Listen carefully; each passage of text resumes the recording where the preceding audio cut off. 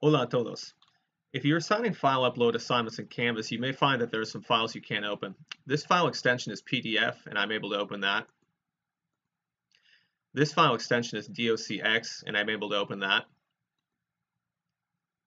This file extension is Pages, and I'm unable to open it. It was sent by a Mac user, and I'm running Windows. The solution in Assignments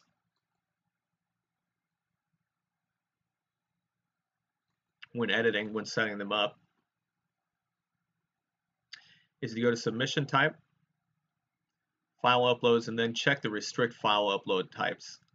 And that way you can uh, only allow certain extensions. So all the ones that went through for me were DOCX or PDF, so I'm going to go with that and send out an announcement to my students to let them know.